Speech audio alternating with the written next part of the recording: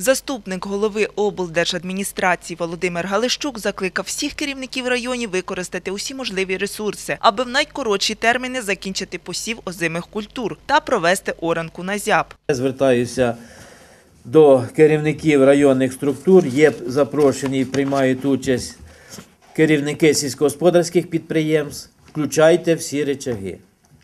Ви думаєте, якщо нам цей тиждень був по погоді сприятливий, то ця погода буде до кінця грудня місяця?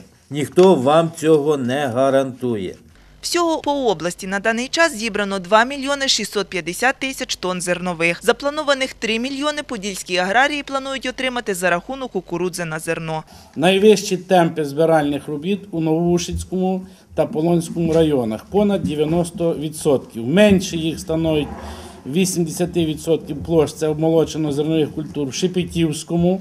Звертаю увагу 78, і Зяславському та Теофіпольському по 77, Славутському 74%. Незадовільна ситуація у деяких сільгоспформуваннях із розрахунками за паї. Кукурудзу в рахунок орендної плати не всі фермери пропонують, хоча попит на неї у населення є. Ще одне питання, що підносилося на селекторі – незадовільна робота із мишовидними гризунами. Аби вберегти озимину, протруювання на полях слід проводити в повному обсязі.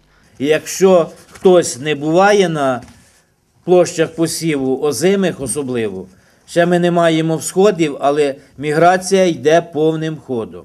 Керівник агропромислового комплексу області наголосив, що всі осінньо-польові роботи мають бути завершені до Дня працівника сільського господарства.